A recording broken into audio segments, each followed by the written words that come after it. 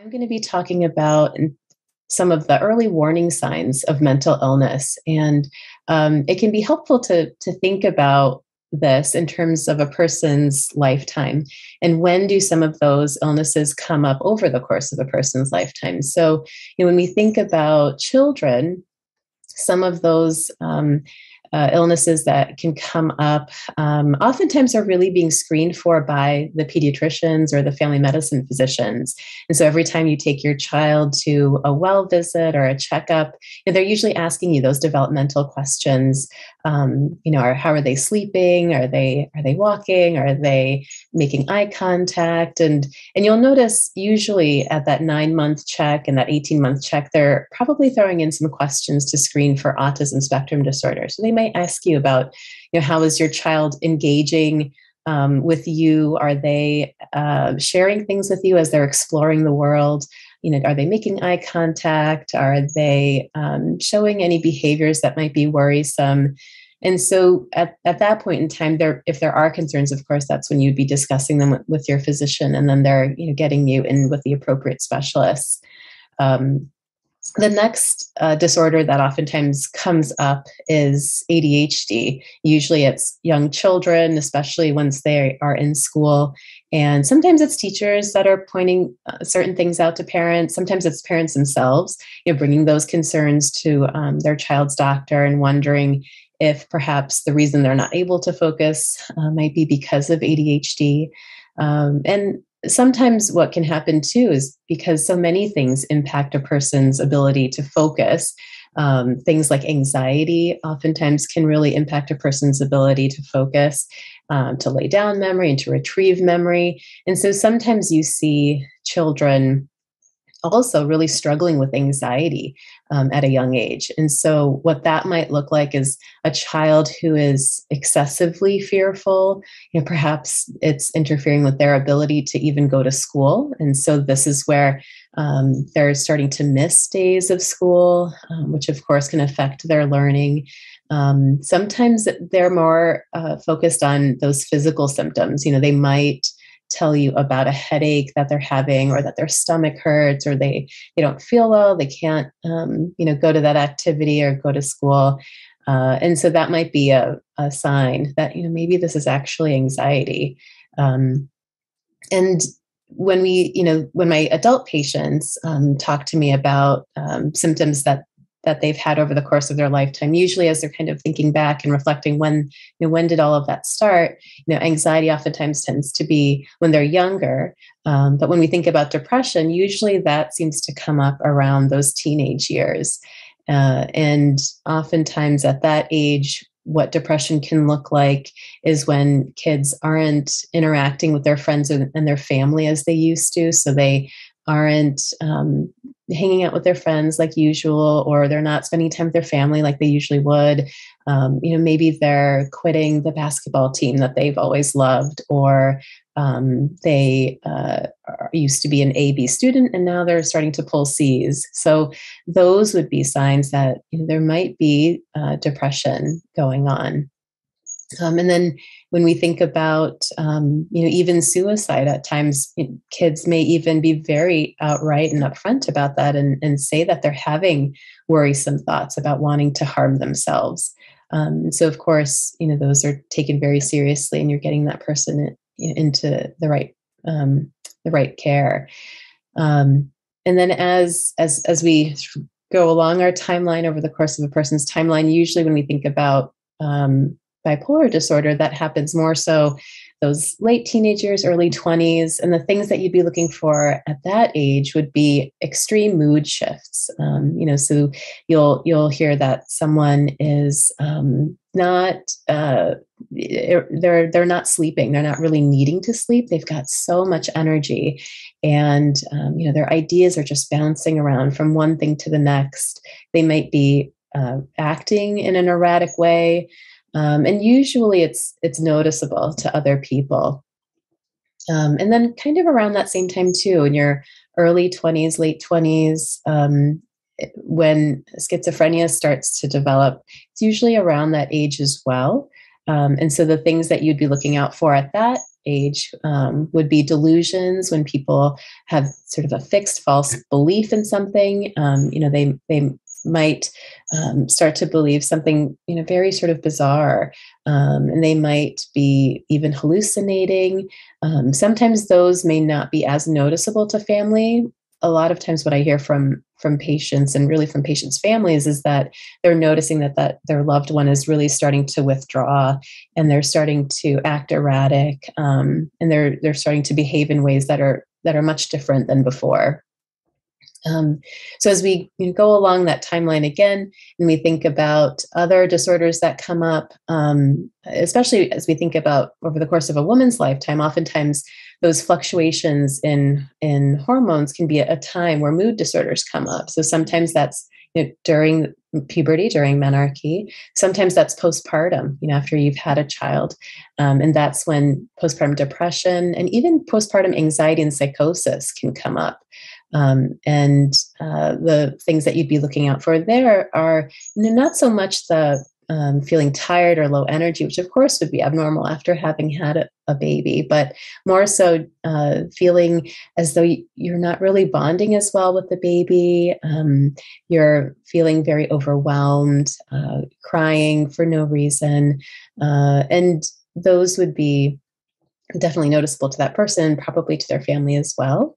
Um, and then thinking about you know mood shifts that can occur during menopause. That's another time uh, in a woman's lifetime when you can start to notice mood disorders. Uh, and then you know as we get towards the end of our lifetime, dementia and um, memory difficulties can come up. And so some of the, the early warning signs there might be that this person is starting to get lost when they're driving. They're starting to be a little bit more confused about things. Um, they're noticing maybe difficulties with with remembering how to do something um, and completing tasks that they ordinarily would have no trouble doing in the past. Um, they might be misplacing things. Uh, sometimes what people will notice is that that family members not really interacting as much socially. They're kind of withdrawing because you know they're having difficulty keeping up with the conversation. So that sort of in a nutshell is is uh, what you can see over the course of a person's lifetime. You know when do those disorders usually come up? And of course then the next question is well why does mental illness occur? What causes this? And so one of the models that we talk about is uh, what we call a stress diathesis model. And so basically, just sort of taking into account that there's likely genetic factors that are at play, but then also environmental triggers that um, help to bring this mental illness to the surface. So, one of the um, things that we talk about are the three P's. Um, in terms of risk factors. So, predisposing risk factors, precipitating risk factors, and perpetuating risk factors. So when we think about predisposing risk factors, you know, what are those factors that can predispose someone to mental illness? Genetics, of course, is a big one. Um, so if there's a family history of uh, a mood disorder or substance dependence, um, that can that can uh, be handed down in families, and of course, with the stigma that surrounds mental illness, and we'll talk about this in a little bit, it can be hard to even get that history from family members. They may not have ever shared that with anyone in the family. Um, and so sometimes, as you're you know, maybe speaking with a psychiatrist or a therapist, and they're kind of gathering that history and you're kind of reflecting on um, what that person was like, you may sort of start to put the pieces together and realize that maybe this person really did have mental illness. Maybe they were depressed. Maybe they had an anxiety disorder. Um, so another predisposing factor would be family dynamics and uh, the the ways in which families handle conflict that can obviously predispose someone to mental illness.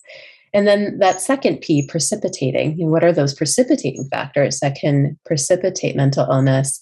And those would be things like stressors in the environment, whether it's abuse or neglect or war or poverty. Those things can precipitate a mental illness when especially as they're sort of placed on top of those predisposing factors. Um, and then what may make it harder to treat are those perpetuating factors our third p. And that really um, points to things like ongoing stress or ongoing conflict within that family household or ongoing substance use. Um, so those it can be helpful to think about those risk factors um, within that framework. Um, and with that, I think I'll, I'll hand it back over to Dr. Rania. Thank you so much, Dr. Rukhsana. That was very helpful and informative. And um, I'm going to kind of dovetail right where you had been talking about, you know, really about these signs and symptoms, um, what to look out for. And I love how you talked about it from the lifespan, kind of from the beginning until later life. And the next question that I have, or to really to discuss uh, here as part of our agenda, is if you've been hearing this and wondering, what about my role in all of this, whether I'm a parent, whether I be somebody who is a leader in the community. This could be a religious leader, could be a community leader, could be a youth leader. There's all different types of folks um, who might be in leadership positions and are more on the front lines of a community. Or you simply could be a family member, a friend, a loved one to someone else, or maybe it's yourself or your kid. And so each of these roles have certain responsibilities. And there's always a question about what is my task? What should I do if I found that myself or my loved one um, meets any of the symptoms or criteria that Dr. Rukhsana just mentioned. And so, what I'm going to share with you a little bit is, you know, h- how to help answer that question a little bit more. And so, we call all of the categories I mentioned stakeholders, people who have a stake in the well being of their family member, their loved one, or even themselves.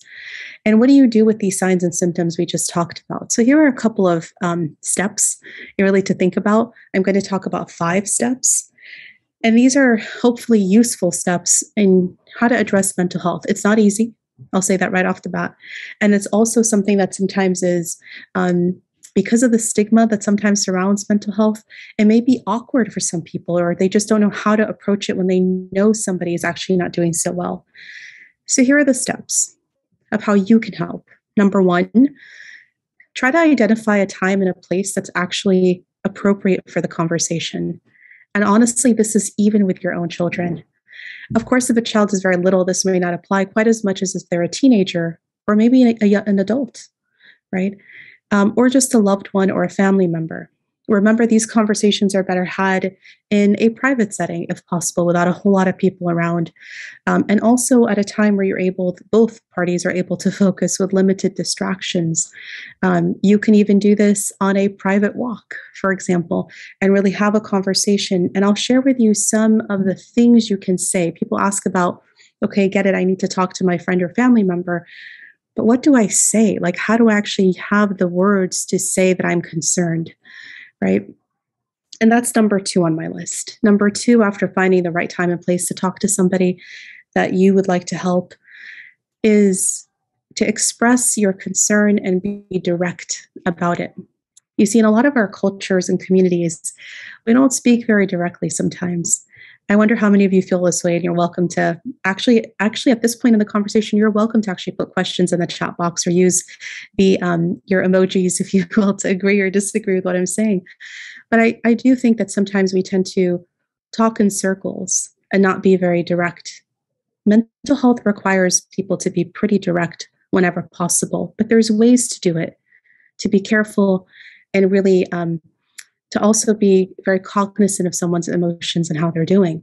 So, here are a couple of ways to say this, right? To express your concern. Something like, I've been worried about you. Can we talk? Right? It's very direct. It expresses that you're worried and you have a clear request to talk to somebody, right? You could also say, if you're not comfortable with me, then who would you be comfortable with? And maybe that person has somebody else in mind, and maybe it's not quite you. And that's okay, because the point is that they actually get the help they need, right? You could say something like, I see you're going through something. How can I best support you? Now, notice in that particular statement, it's very carefully worded. There's no blame, there's no judgment. There isn't a sense of like, why are you staying on that couch? You're not getting out of your bed for so long. Why are you being so lazy? How come you're not getting anything done? You know, you're not finishing your job, right? None of those sentiments. But you may be thinking those things or worried about those things, but simply you say, I see you're going through something, right? How can I best support you? And it's very circumscribed what you're asking. That way, if there is something you can help with, they can actually say it, right? If you don't like either one of those two, and you can always tailor, custom tailor this to what's comfortable to you and your words, but you can also say something like, I care about you, right? It's very clear and direct. I care about you, and I'm here to listen. Do you want to talk about what's going on? Right? That's even more clear than what I said previously. And that's another way to say it. Or something like, I've noticed that you haven't seemed like yourself lately. How can I help? Right? And again, use your own rendition of this, right? Put your own flavor to it. But the point is, it's you're expressing a concern and you're being direct about it, right? And I know there's people who are going to say, and I welcome your questions and feedback in the chat box, who might say that will never fly with my family member, or maybe it's an elder in the family. And they're like, that would never work, right? You can definitely have your own way of saying this as well. And sometimes it's simply not you. Sometimes it's actually going to be that you're recruiting help from someone else that person will listen to. Like when it's an elder in the family, sometimes I say to my patients, who will that person listen to? Maybe it's someone who's at their age and level, like their sibling, right? Or their good friend who you can recruit and actually ask for help and say, Hey, I've been really worried about my uncle or aunt, let's say. Can you talk to them? Right. And so sometimes it's also being creative in how to get the person help that needs help. So to review, I shared number one and number two out of five so far. Number one was to identify an appropriate time and place. And number two was express concerns and to be direct. And then I shared some examples. Now, number three, when they do speak to you, number three is acknowledge their feelings and listen and listen. I'll say it again and listen.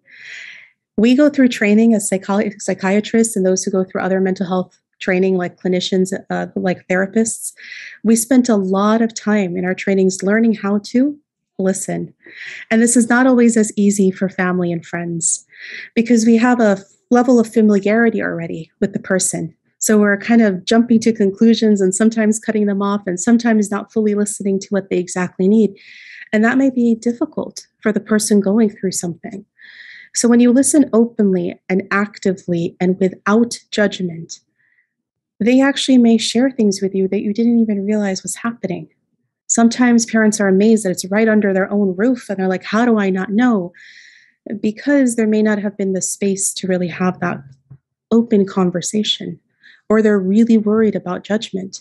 Now, that this doesn't mean that a family can't have rules and regulations in their home. But what I mean by judgment is if someone is in a crisis or close to it, it actually in that moment, judgment doesn't have a place. Only getting them help does. And that's really important to understand. Number four, offer to help. Provide reassurance. Let them understand that mental health is, in fact, a condition that one in five people are going to experience. When you think about what that means, you and I know more than five people. In fact, we may have more than five people in our own families. in our own, you know, nuclear family, let alone our extended families, let alone our friends and community circles. There is a lot more mental health conditions out there than you probably realize, and probably much more than are actually diagnosed. What that means is there are people who are going through a lot. And if the pandemic has taught us anything, it's that a lot of us are going through a lot. And so when we offer to help and say it by normalizing, by saying, this is something many of us are going through, let's try to figure out how to connect you to care, sometimes comes off as much more helpful, actually, and reassuring that it's not just you, right? And number five, and the last of my list here, is to be patient. To recognize that sometimes this kind of help and mental health in general does not go away overnight. It does not work this way. And many of the conditions that Dr. Rukhsana referred to are chronic. They actually come and go throughout a person's life. So they may never actually disappear, but they can have treatment and they can get better. Even if there is not a full cure, like a person may have a chronic condition, they may be able to live a full and healthy and vibrant life with good treatment and good um, care by their doctors and physicians. And so I encourage you, inshallah, to t- take a look at these five steps and to see if you're able to implement them. And please be patient. Please know that mental health, like any other major health condition, doesn't just disappear overnight. So hopefully, with our kind of listening and helping, we're able to do um, the bridging to care that I think a lot of us that are here actually want to do, inshallah. And so, with that, I hope that was useful, kind of five very concrete steps. And I'll turn it back over actually to Dr. Rukhsana to talk a little bit more about our, our duties. How do we address these stigmas? Okay, thank you, Dr. Rania. Um, so, a lot of people will ask, you know, why does stigma with mental illness exist? You know, if someone had rheumatoid arthritis, for example, we would have empathy for that person. We would offer support. We would help connect that person to specialists that could get them in for treatment. Know, we would never think that they did anything to bring this upon themselves. We would never place blame on that person or shame that person for having rheumatoid arthritis, right? It even sort of sounds silly to say that. So, why do we do this with mental illness? And with with mental illness, what we find is that stigma um, is is actually sort of a level of self protection or or denial in a way. If you'll kind of uh, allow me this, so I think what I have seen is that when someone has mental illness, you know, there there may be part of us um, that may blame the person, or there may be this sort of thought of, well there's something defective in them. There's something wrong with them. They they brought it on themselves you know if they just prayed more or exercised more or ate better you know they wouldn't be depressed. Um and you know it sounds so harsh to sort of think that someone may have those thoughts but i think you know we hear that sometimes that you know if they would just uh, you know do something a little bit better you know they wouldn't be in this situation. So why why do we have those thoughts? Why do we think that and I think that we sometimes will have that line of thinking because it in a, in a way it sort of is self-protection or denial that it could ever be us. You know that we could never be in that situation um, because we do x y or z. But just as dr rania said um, so many people have mental illness um, in one form or another. You know either you yourself or someone you know and we know that if we look at depression, for example, you know, one out of 10 Americans will experience depression. When we think about postpartum depression, it's about one in eight.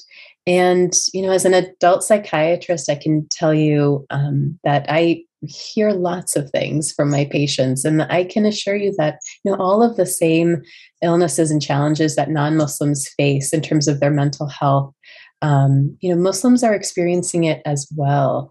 And so, um, you know, it really is, I think, coming from a place of denial to think that we could never um, experience mental illness or that, you know, mental illness isn't um, part of our our culture, our religion, or um, our experience. Um, but what we come to find, though, is that, you know, of course, Muslims are experiencing mental illness. Um, and what can be so dangerous with that stigma associated with mental health is that stigma can kill.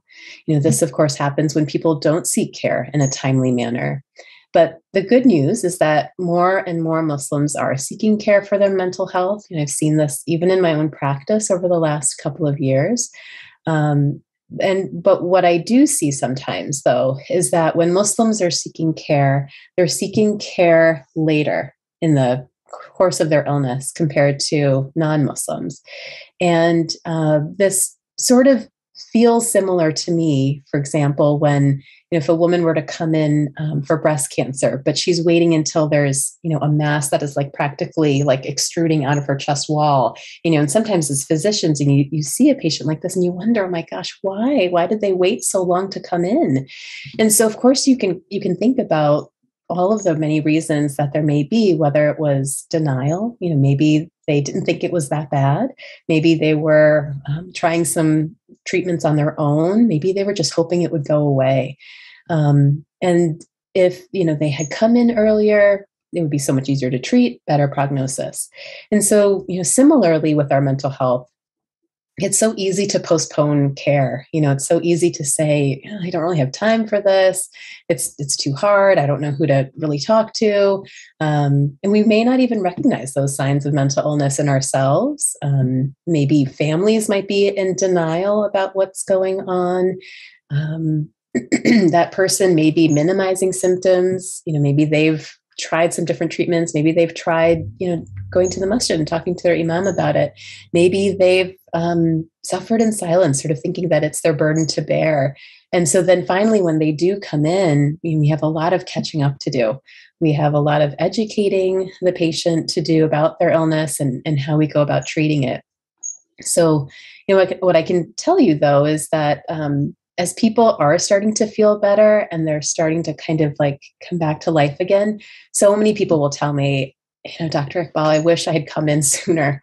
Um, and I say, I'm glad you came in. I'm glad you're feeling better. So, you know, how can we help to eliminate that stigma? So, you know, there's really, I think, a few things that we can do to help eliminate stigma. I think, really, honestly, the first thing is just to acknowledge that it could really be any one of us. And it maybe you know us um, that it, mental illness can can happen to anyone. Um, the second thing really is education and so uh, conversations like this um, in this space and on a community level uh, conversations um, in other spaces as well.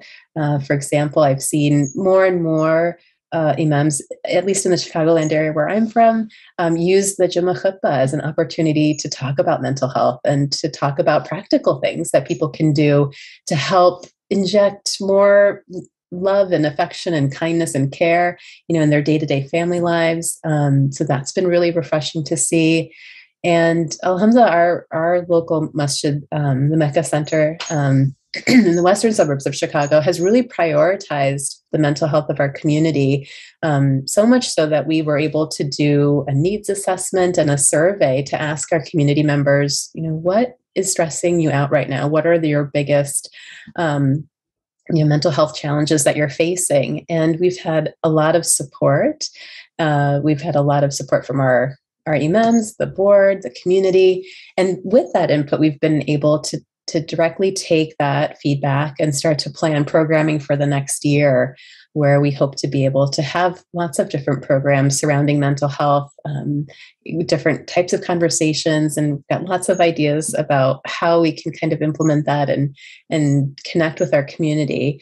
Um, and so I, I think as organizations we can also help each other by sharing different initiatives that we're doing um, so that way we're not you know reinventing the wheel but trying to um, kind of work more collaboratively.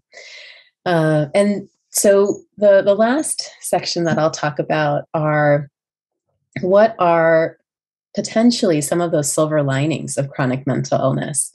And you know when i i thought about this um, i i thought you know in a secular sense, it's really hard to see what would be the advantage of having mental illness. But if we kind of shift that a little bit and sort of think of it more in a spiritual context, we can see how those hardships can be a means of getting closer to Allah, you know, to strengthening that tawakkul, that connection to Him. And um, like Dr. Rania said, knowing that He has provided a cure for every illness and to not give up hope that, you know, inshallah, there will be a cure for mental illness. Right now, we've got lots of treatments that can help people get functioning better. Um, and I, I, think what's interesting is, you know, at the beginning of the pandemic, um, you know, obviously a lot of people were were having a, a tough time and were struggling, and so many people were seeking mental health uh, care.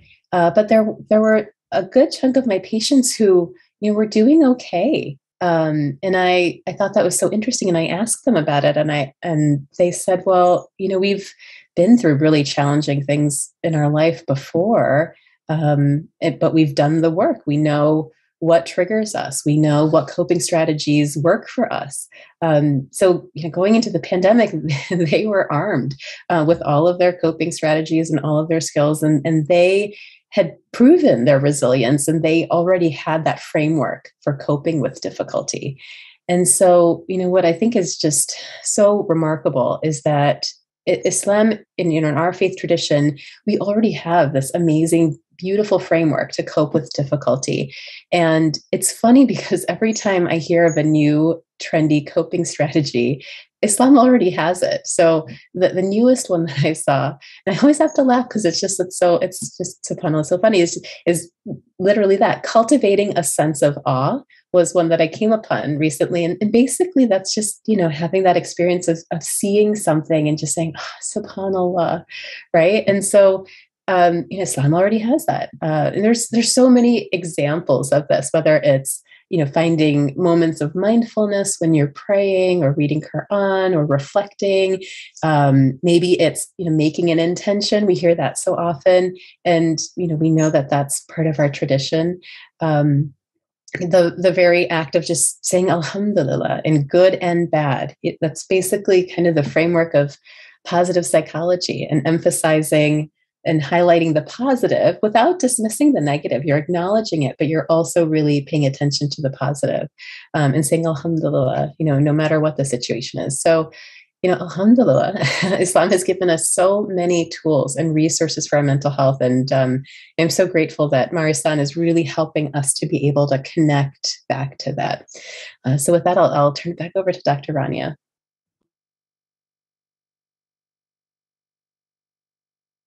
Thank you so much, Dr. Rukhsana. And yes, I mean, I everything you said is so spot on. I think at this point, um, really just adding a little bit here more related to how else can we help. And if you remember earlier, I was mentioning um, different categories of people, right? I was mentioning family members, friends, teachers, people who are leaders, whether you be religious leaders or community leaders or youth leaders or Sunday school teachers, um, people who help in all different capacities within our communities. Everybody has a role. And I think that's probably the strongest message I can give. Um, everything that Dr. Rukhsana shared in terms of how to's, right? Now comes our duties in terms of all of these different categories I mentioned, because many of us actually fit in to multiple categories. And the first thing I want to share is our responsibility. Our responsibility related to mental health. Whether, again, you be that parent or the teacher or a professional or a friend or a leader, um, we all actually carry responsibilities. Um, I have trained a number of imams and religious leaders on mental health. And it's always surprising to me when I come to the section of my training that says, um, as leaders, you are somebody who is a mandated reporter, for example, that if somebody comes to you in the context of, let's use here, and I'll give my trigger warning of a difficult topic um, on suicide, that someone says something about their life isn't worth living or they may end it, and they're going to a religious leader or they're going to any community leader for that member for that matter maybe it's their youth group leader and saying that there is a responsibility not just from the religion, which I'll come to in a moment, because that applies to all of us, but there's also rules and regulations and laws of our land that govern these things. And if a person is in a place of leadership, they actually have to intervene and help. It's not a choice. And so I'm always surprised and a little bit amazed, and I'm glad we do these trainings in order to make sure that people know and I saw a comment in the chat box related to wasn't about suicide, but rather it sounded like maybe it was related to postpartum depression. I can't tell you how many communities I've gone to where we're talking about various mental health conditions and postpartum depression being one of them. Of course, the numbers there are one in four. And I'll say what I said before. Everybody here knows more than four women who have been pregnant in their life and have had children. It is a very common condition, and is this one in particular is very much biological and hormonally driven. It's not anyone's fault. And yet, I have what you said in the chat box there, the person who wrote that, I agree with you. There have been many people and communities that have tried to approach leadership, particularly religious leader, um, but even other forms of leaders or community members, people who are in charge of things, and say, I'm going through a rough time. And just sort of get sidestepped or brushed aside. And this is not acceptable whatsoever. A lot of times this happens because of lack of knowledge. Certainly, people don't know how to react. But something Dr. Rukhsana said is very important. The end result of some of these conditions could be fatal. Not all mental health conditions are fatal, of course, but certainly if a person reaches a point of the brink of despair because of their clinical depression, because of the postpartum depression, because of really any of their conditions, that is very problematic and actually quite terrifying, I might add. And to carry that with you is very heavy.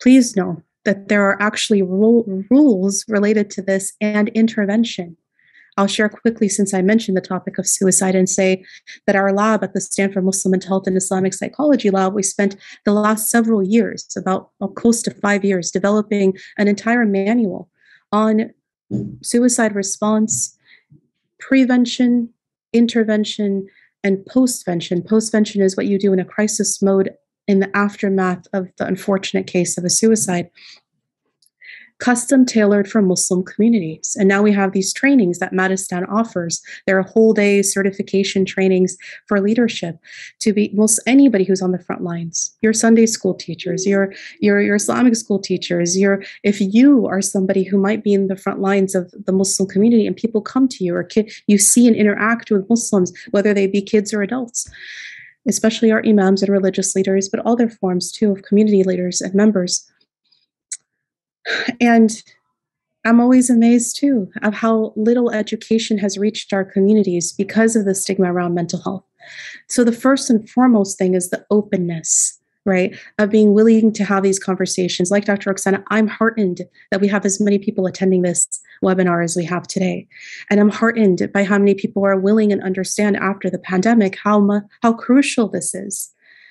And I'm also raising the red flag a little bit and saying, that if we don't have these conversations, if we don't have the resources, if we don't bridge people to care, right, we will see fatalities. The research already has said that. We've published that paper already, and it's caused some, you know, interest and also some alarm in the community. But that's what the data shows that Muslims do have a high level of suicide attempts here in America. Why is that? Well, there's a lot to people ask, why is that? There's a lot that comes with that.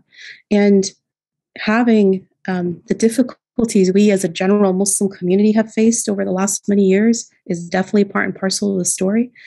But so is the fact that our community doesn't tend to always be bridged to care or willing to very immediately get the care. And so, like Dr. Rukhsana said, sometimes it's a little too late by the time it actually comes to pass.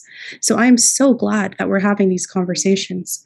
And I also think that now to switch a little bit to the more spiritual and religious part of the conversation, since we're all, of course, here together, gathered because we're talking about Muslims and faith, there is amazing amounts of resiliency within our deen. And like Dr. Rukhsana said, so many of the treatment protocols that are out there are types of therapy, the essence of which you can find within our faith and religion, subhanAllah. Even, even the topic of suicide, currently we're, we're running a study that actually is called Islam-based resiliency to suicide, using character and moral traits within the faith to prevent against suicide. So, and that is something that is highly effective if we're able to channel it in the right direction. Now, what I mean by that is not just that it's a spiritual treatment for mental health, but that it's a holistic treatment, that you talk about biology and genetics and medications and therapy, but you're also talking about someone's spiritual state and how they're doing. For many people of faith, they find a source of comfort and relief within their faith, within their prayers, within that connectedness of their community. And that is part and parcel of it. And it's lacking in a lot of our secular systems. And so, you know, I say all of this because it comes back down to responsibility. From the religious and faith point of view, we have all of us, whether you're a leader or not, whether you're somebody in a position of power or not, whether you're able to make a difference or not, but I would actually hazard to say you can and will make a difference. Our dean puts that onus on us. The Prophet ﷺ was asked by his companions, who said, Shall we seek out treatments when we're ill? as in to say that the hidden question in that question is what? Is it enough to just pray? Is it enough to just make dua? Is it enough to just tell the person, have sabr, have patience, have stronger iman or faith? That's the hidden question within the question. And the Prophet Muhammad wasallam responded and said in a Sahih tradition, right, a Sahih hadith, he said, O servants of Allah. So that means all of us, all people who are believers. O servants of Allah, seek out treatment. Tadawu, seek out treatments. And then he continues it and says, For for every illness that Allah sends to earth, that Allah sends down, He sends with it its cure. And in a different narration, it says, It's treatment. So either dawa or shifa, right? This is highly important because it is the very thing that pushed our noble predecessors, right? Uh, the early Muslims, scholars who understood and looked at these ahadith and looked at this and were inspired to get care to build institutions like the Maristans, like our namesake, right, that incorporated mental health. They were the first in human history to have mental health within their hospitals. That's no accident that the Muslims were first. It's because of this religious injunction or understanding. And so when we find Muslims today, modern Muslims, who A, don't realize that, or B, are very willing to prescribe just prayer and iman, stronger faith, and kind of sidestep completely that there are treatments God allowed humans to create and find from the illnesses that He also sent out, right?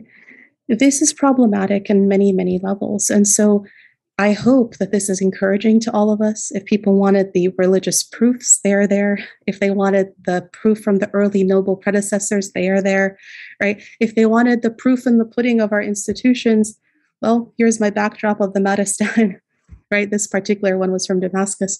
They're there everywhere Islam went, just like it had masajid and for prayers, just like it had madrasas for learning.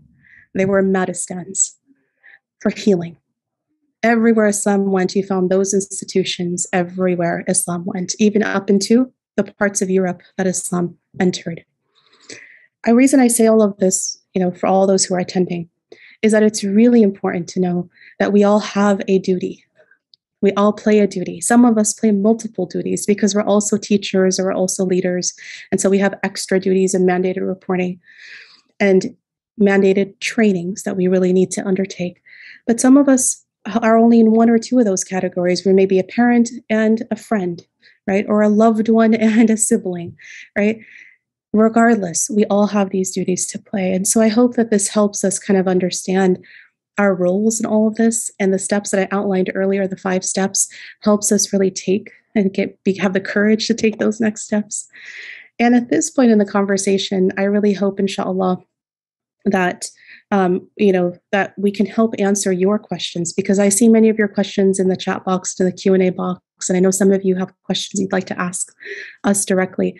And so at this point, I'm going to invite Dr. Rukhsana back to the stage with me, and we would love to just have you um, ask us your questions and help us help answer some of the questions you have that are more specific to what we've presented here. I do hope this has been useful, inshallah.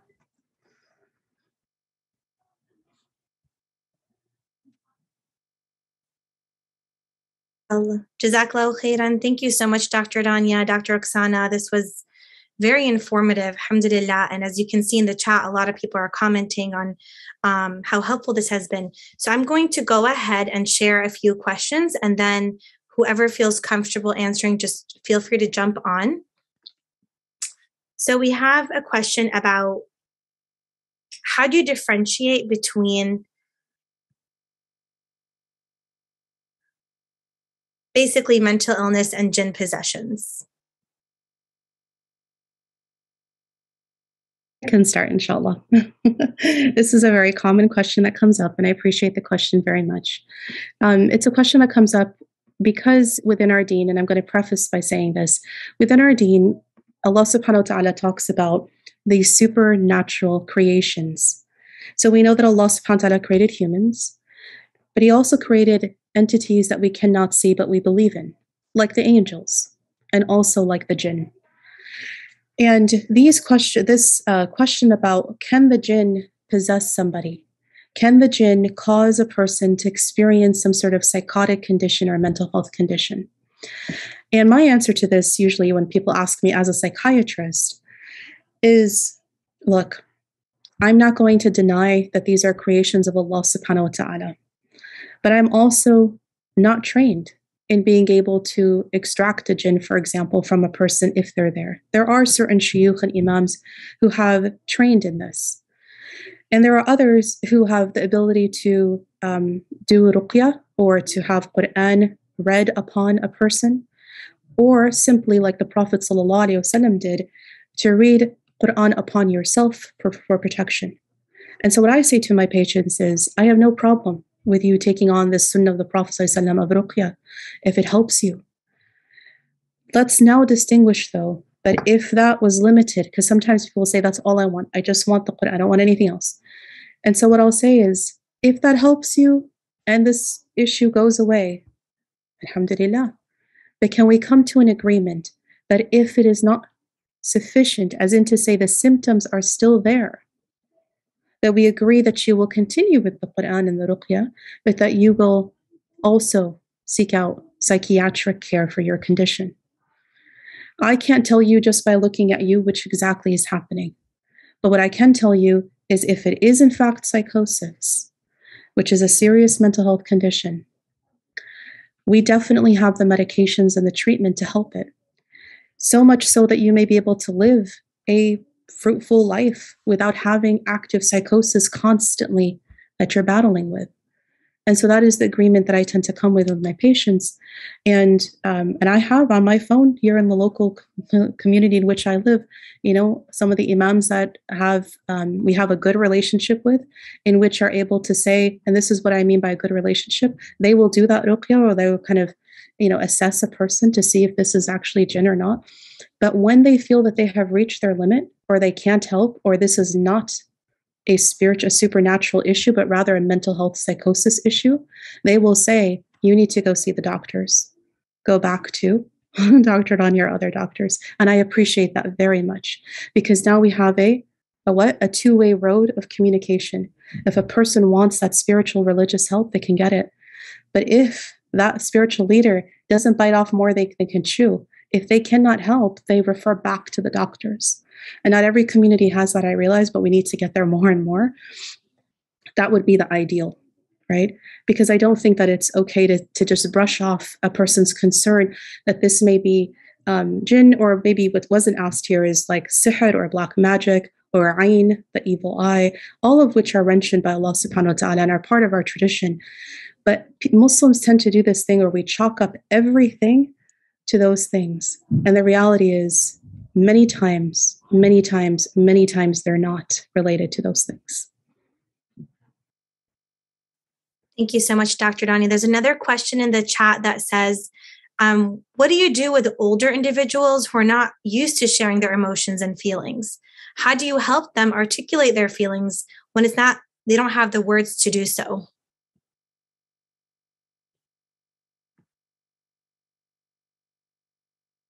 Do you want to take a jab at it, Dr. Rukhsana? Sure, sure. Um, and that's a great question. I think, you know, especially over the pandemic, a lot of our older patients have struggled, especially in the beginning when we were so isolated and people weren't able to see their loved ones, um, you know, their children and their grandchildren. And so um, I think, you know, in situations like that, um, you know, trying to find some sort of inroad, you know, whether it's a person that they have a good relationship with that perhaps could talk with them or if there's you know something that they like to do you know sometimes it's easier um, you know dr rania had mentioned sort of having that conversation on a walk. You know sometimes just getting up and having some movement can kind of allow for a more free flowing conversation. So, whether it's when you're maybe going for a walk or maybe going for a drive, sometimes just being in that kind of contained uh, place might be a place where you can kind of have a, a, a more sort of intimate conversation with that person. Um, and I and I wasn't sure from the question if it if that person was referring to perhaps if there was memory issues impacting that person's ability to communicate, or if there were other factors um, making it difficult for that person to communicate. Of course, you know, if that's at play, then um, you're getting that person in usually to their primary care doctor is a great first place to start um, because in, in situations like that you always just want to make sure that there's nothing medically going on with that person that could be impacting their current situation.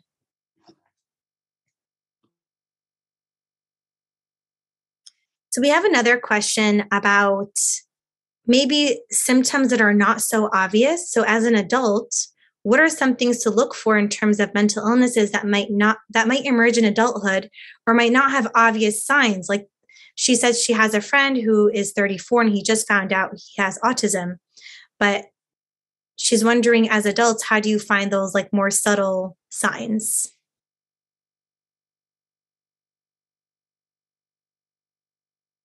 to go and get tested essentially um, Dr. Rukhsana or Dr. Rania, who wants to take this one?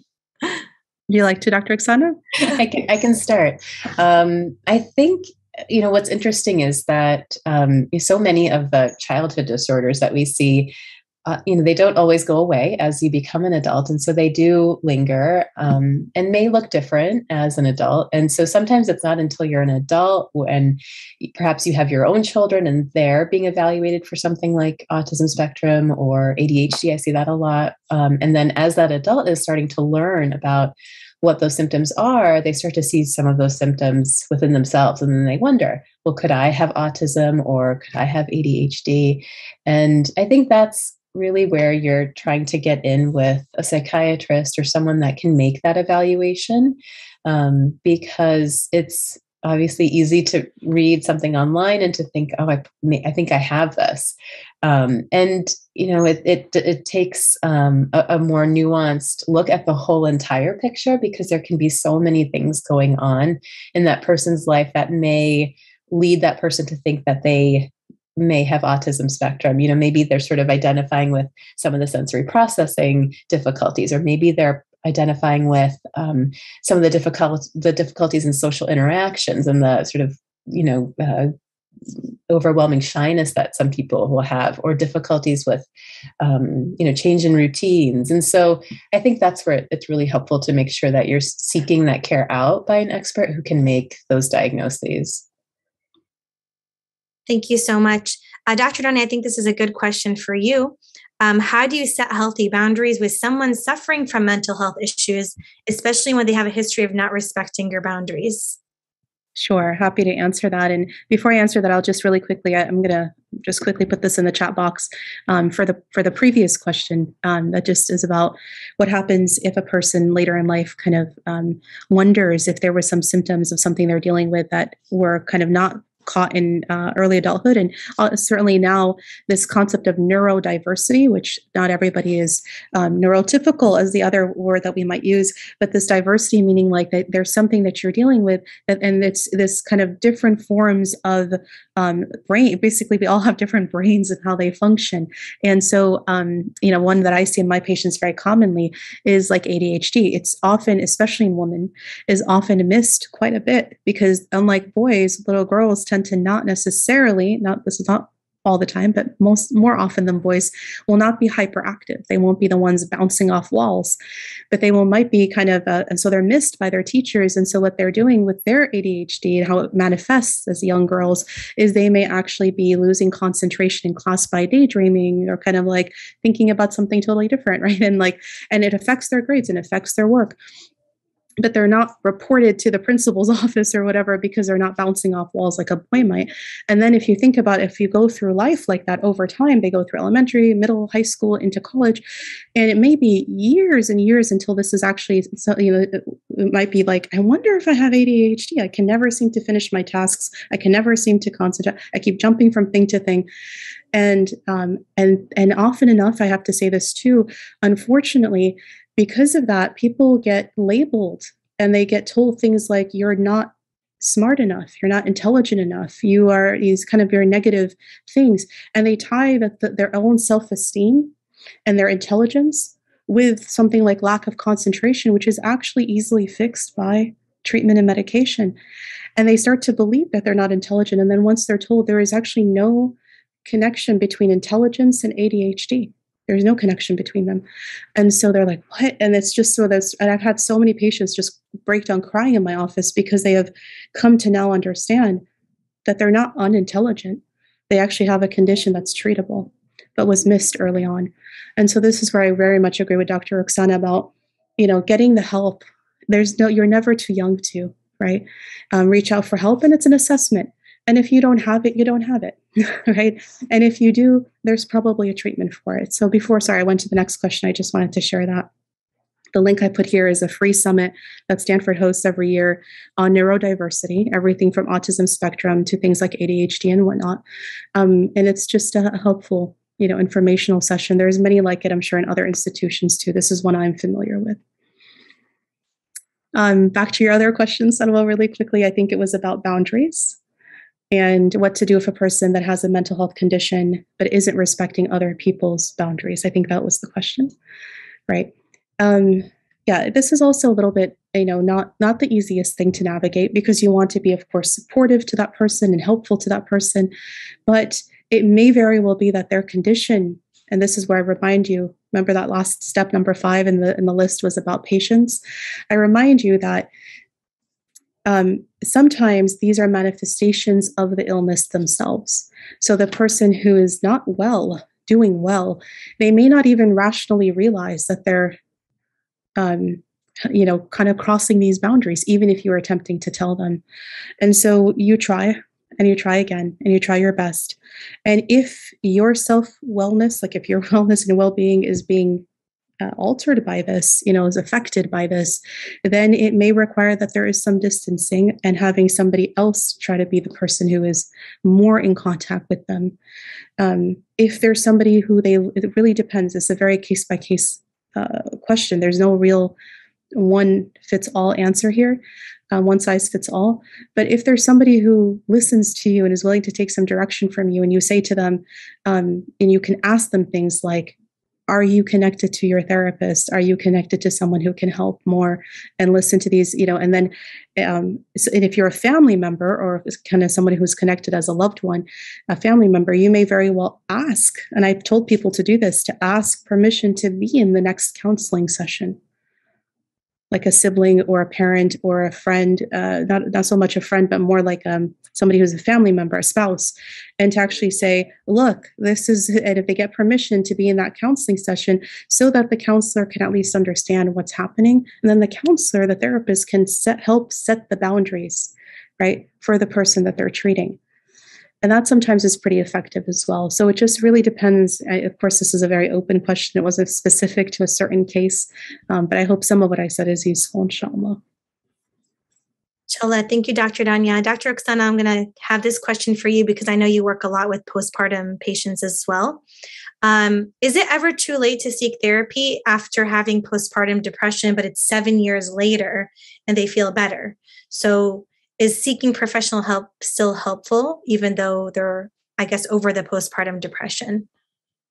Sure. No, that's a, a great question. Um, I, I, think in general, it it, uh, it depends. Uh, yeah, it's probably the answer to all of our questions here is that it's it oftentimes depends on the specific situation. But in general, what we I think can say is that um, ideally, if if you're still seeing difficulties with some aspect of functioning. I mean, usually that's sort of our threshold, right? Is if there's some difficulty with functioning that you know, mood or depression is impacting your ability to function, then yes, of course, you should definitely see a therapist or a psychiatrist.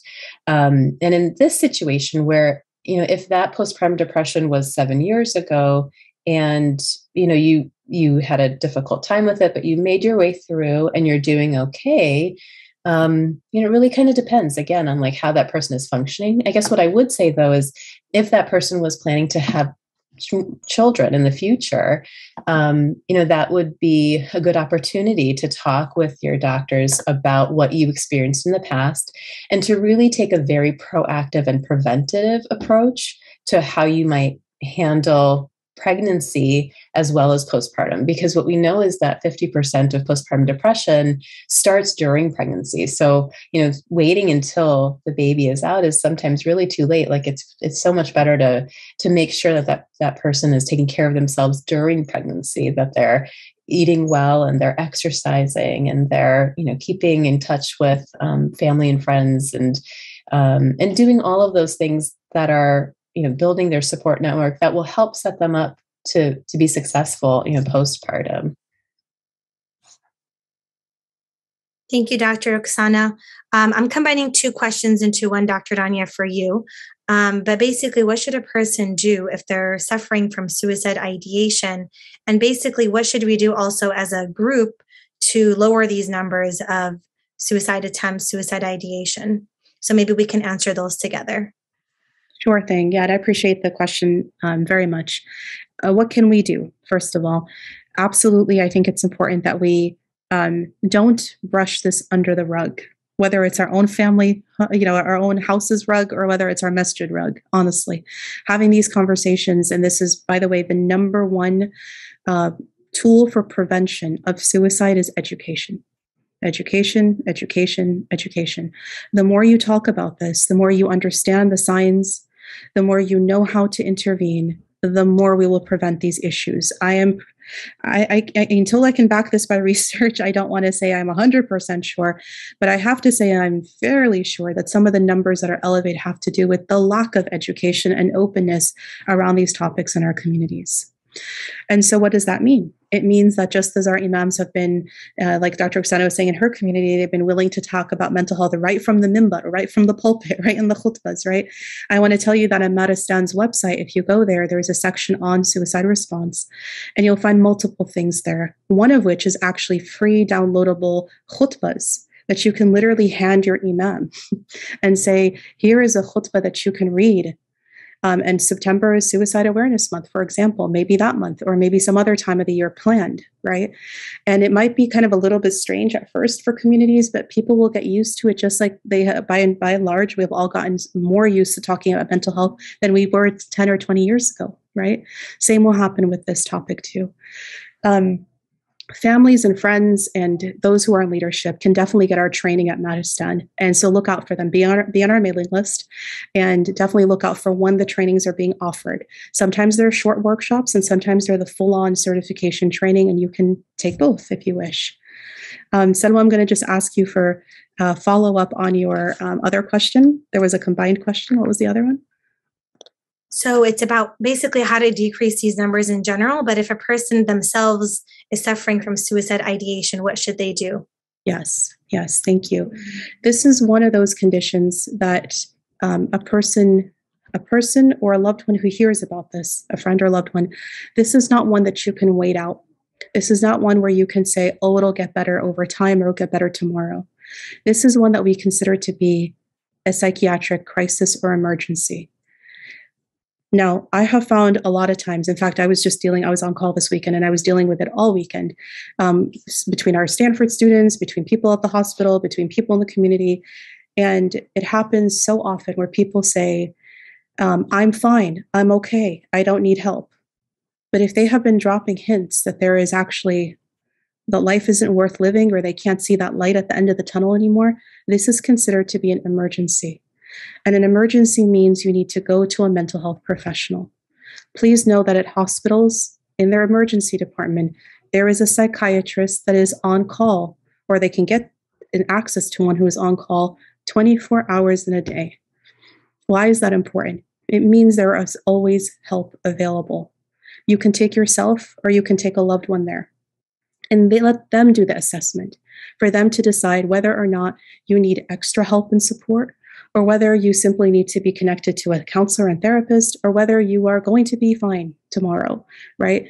You don't make that call yourself. And if you're a family member, a friend, don't make that call yourself.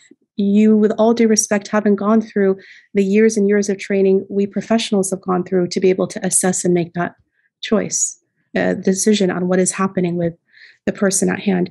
Why am I being very strong about this? It's kind of like I'm kind of hammering down this point We've just seen too many tragedies, folks. We've seen too many tragedies. Just last weekend, there was another big headliner that came out of the Houston Muslim community, right? I mean, there's just always things that are happening. And those of us who are in the field see this a lot more, right, than what happens on the news. And that's why I'm being really strict about this. And so I really encourage you to know that there is help available and to also know that there are signs that you can know. Also on our Maristan website, on that same tab that's called suicide Muslim suicide response, there are links to a couple of articles that we've written with folks in my lab. Um, things like the top 10 signs of suicide response. Another article that talks about what to do in the aftermath of a suicide, and so on and so forth. Maybe we can actually put some of those links right here in the chat box for you. Um, but we've produced a lot of material and resources around this topic, and I really hope you can benefit from it, inshallah. And by you knowing and educating and advocating that these conversations make it to your community centers, then inshallah we can start preventing more and more of this. Inshallah. Um, Jazakallah khairan. I have a really direct question. It should be quick to answer. How do you find a psychologist online, um, online who accepts health insurance? I, I can, yeah, Dr. Rukhsana, you're welcome too.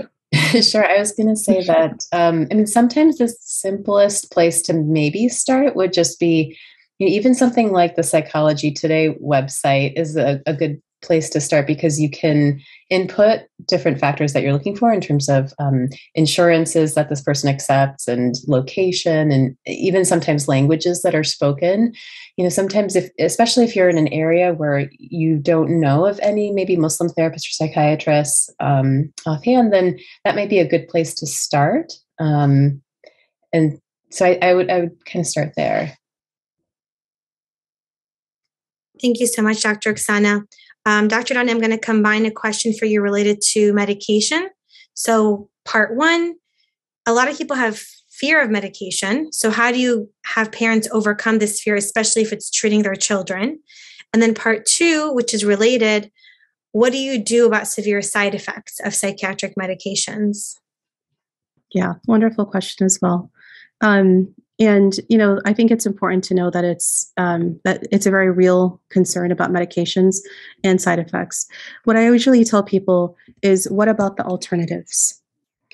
Are there good alternatives that have been researched in which there is good backing that a person is always going to is, is going to get better? And in and this is where i say it really depends on even mental illness and their each each condition itself is on a spectrum. As in to say it could be anything from mild to moderate to severe to extreme. And it depends, and this is where your mental health professional becomes really important because they're trained to figure out where in that spectrum are you in terms of your depression, your anxiety, or your ADHD, or your OCD, or your phobias, whatever it may be. There's so many different conditions out there. And depending on that, the answer would be sometimes you don't need medications. And depending on if it's more severe, you may very well need medications. Ultimately, you will be the one to decide if you're going to take them or not. And this is what I say to people on certain conditions. Um, I gave the example just the other day. I was talking about OCD, obsessive compulsive disorder, which I do a lot of work around and um, and work with. And one of the things that it's actually graded just like this mild, moderate, severe, and extreme. And there's actually measures that you are given by your doctor to figure out where in that spectrum are you. And what we know is that something that's like mild usually can be handled by therapy alone, usually. But when it becomes something that's more moderate or moderate to severe or even extreme, at this point is where there is so much research behind why the medications are important. Take something like OCD. If I put you under an MRI machine, an fMRI machine, a person's brain that has OCD will actually light up. There is a deficiency there. There is something there that requires the medication to help it. And what I find with my patients, and I'll tell them, look, the gold standard is a combination between medications and therapy, and a certain kind of therapy. It's specifically called ERP or exposure ritual prevention therapy. I'm saying all of this to explain to you that when my patients say the same thing, I don't want this medication, I'm worried about side effects. I say, well, what is our alternative? I don't have for you a natural based alternative that would absolutely make this go away. What I do know is the medication that I do have to offer you you will see for yourself and you can judge for yourself and you can come right back off of it if you don't like it. But what ends up happening is a person, most of my Muslim patients will start off with just therapy. And I'm like, all right, let's start with therapy. And they'll work really, really, really hard at therapy. But some of these conditions, depending again, if they're moderate to severe, they require that medication. And so they themselves will later come several weeks into the therapy and say, Dr. Rania, can I have some medications for this? You know, like on their own because it's just so heavy. And once they take the medications and we get through dosages and side effects and what works and what doesn't, and we kind of, you know, have to tinker a little bit, eventually they get to a point and go, whoa, why didn't I do this way before? SubhanAllah. It's almost always, and I see Dr. Rukhsana nodding, it's almost always the same story over and over again. And so, because it's like a night and day difference, a night and day difference sometimes. And all those things that have been holding back and spending hours and hours of their brain space and time in this condition they have suddenly falls away with the medication. And then we use the therapy for the more heavier things that require extra behavioral changes, right? And together, their life completely turns around. They go from being almost non-functional to being there. I have so many stories subhanallah not just functional finishing their jobs getting their masters getting their careers getting job having children you know like just so many things subhanallah that they were totally limited from being able to do. The reason i say this to you is certain conditions require medication and there's just no two ways around it. And it's not against our sunnah to take it either. And in terms of side effects, I remind us that all medications have side effects, including the Tylenol you take for a headache sometimes. And everyone has different set of side effects. And if your doctor is a good one, they will work with you to figure out which is the medication that has the least side effects at the least dose that is effective for you. And so if you have a serious or moderately serious condition, Again, the question is what is the alternative?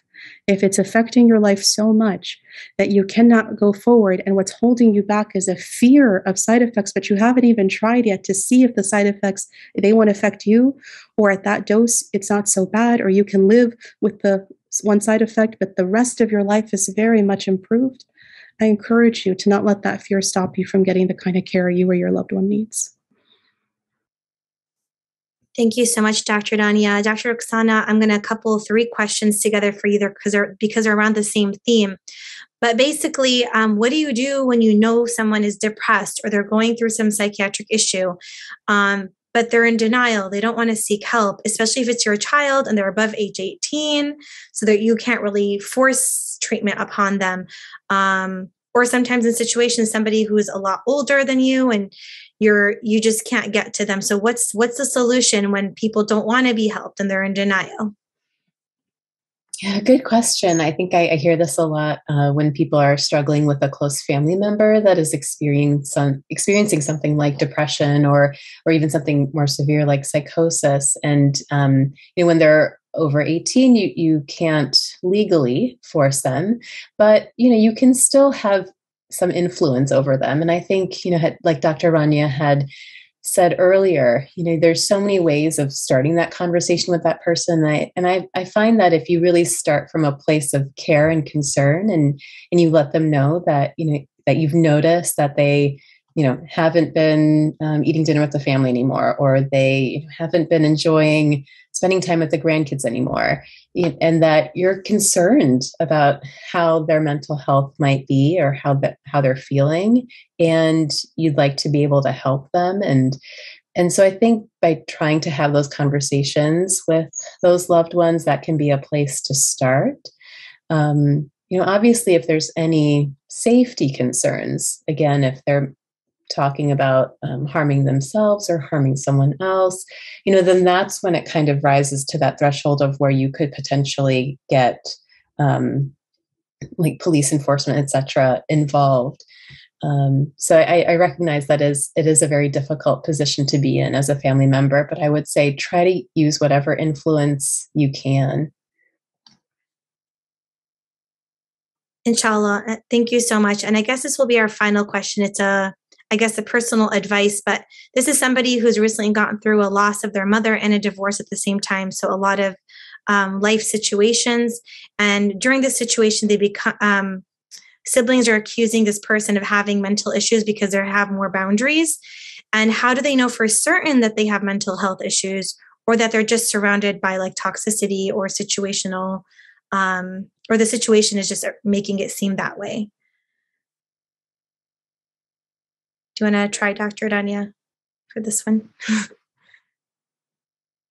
um, i could try to take some part of it uh, so, uh, so you were saying that the if you can just repeat this part again yeah, so it's somebody who's gone through the loss of their mother yeah. and a divorce at the same time. So two life um, situations, and they've put more boundaries around their family, and they become more firm and vocal with their boundaries. And because of that, their siblings are accusing them of having mental health issues and that they, she needs help or he needs help. So how do they know for certain that they have mental health issues? Mm-hmm. Or if it's just the siblings are just being toxic? Mm-hmm. There are two. There are two interplaying things happening here. Probably, maybe even more than two, but I'll mention two, inshallah. And uh, first, well, first, before even I mention the two, I just want to say to the person who wrote this, uh, thank you for being brave and actually even writing this and and and really um, asking yourself the question is it me or is it them right? I think that takes a lot of uh, courage and really insight to try to figure that out. So i, I applaud you for that. Um, second i want to say that if a person any one of us has gone through what you've gone through and uh, you know multiple things happening even just one thing let alone multiple uh, difficulties in their life it is very normal that a person may very well be you know handling heavy stressors. And sometimes it's not until you're finally in a safe place, like in the safe, confidential room of a therapist, let's say, and you actually start saying what's you've been carrying, the load you've been carrying, that you realize how much you've actually been carrying. Um, and that's something that's happened very commonly to folks I've worked with, and even myself. You don't even realize how much you're carrying until you start speaking. And so I don't know that I would necessarily, and I can't obviously through this computer, you know, through virtual, say, oh, you have a mental health condition or you do not. I can't say that to you. But what I can say is it definitely sounds like you're carrying a lot. And therapy very well could be useful. The second part of the question about the siblings or just whoever it is that's kind of saying, um, you know, that's just all mental health versus could it just be that you're setting your boundaries and you are in a different mind space in a different you're operating in a different way than they're used to so they don't know what to call this so basically, they're saying, oh, it must be your mental health.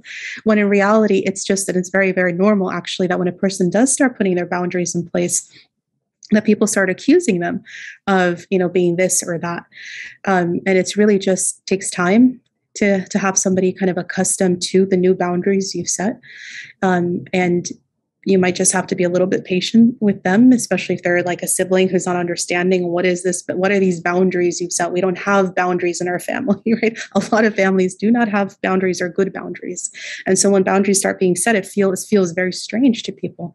Yet boundaries is something, and I say this to people all the time, this is not some weird Western world word that people that's like a like a like a bad word. People treat it like a bad word. Oh those westerners that talk about like boundaries. We don't have that in our culture.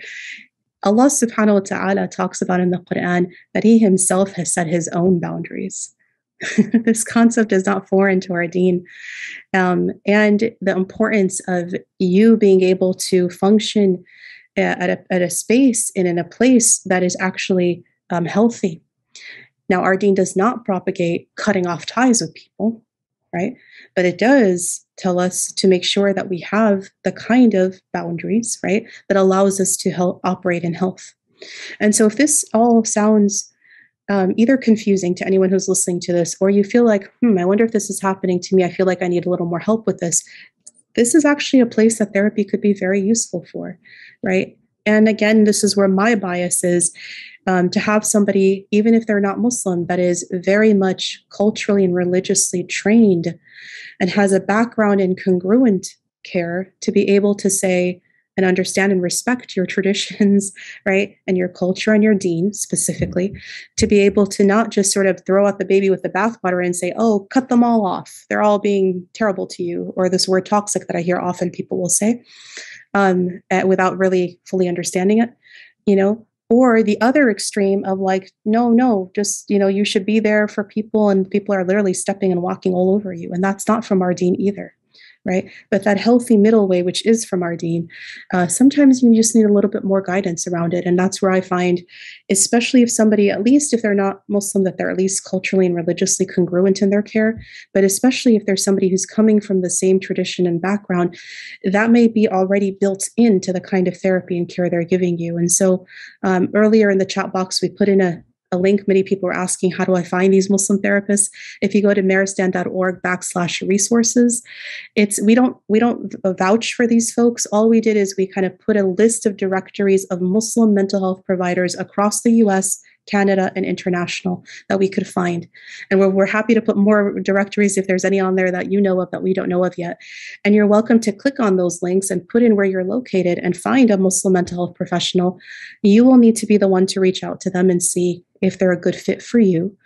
Um, but at least it's a resource to get started somewhere, inshallah. I hope that was useful. Inshallah. Thank you so much, Dr. Rania, Dr. Rukhsana. Um, Alhamdulillah, I think we got through most of the questions. There were a few that we didn't, and I apologize. Um, it just, we do need to wrap up time. Um, we do really care about your feedback. We usually have these learning circles about once a month. And your feed, the reason why we chose this topic today actually was because it was suggested in these feedback forms. So um, we would love it. Bismillah. Um, if you can just scan the QR code here or in the chat, we will also have a link. It's literally like a two minute, two minute feedback form just to let us know, you know, did we meet your expectations? Um, are there other topics you're looking for? We want to hear from you, inshallah. So please um, do scan the QR code and then you can also go ahead and click on it in the chat. We also have provided for you a list of resources other than our website specific to this topic of chronic psychiatric disorders those will also be shared in the chat. Um, some of them are more Muslim based and some of them are more general. They're both very useful if you're looking for any source of resources, inshallah. Um, in addition, if you enjoyed today, um, please consider contributing for future programmings like this by scanning this code um, or going to the link in the chat. And as we mentioned earlier, Alhamdulillah, it's been less than a month since Ramadan, and we've opened our doors for Maristan's clinic. Um, so if you are in the state of California, you can book an appointment by just scanning this code or um, visiting the link in the chat.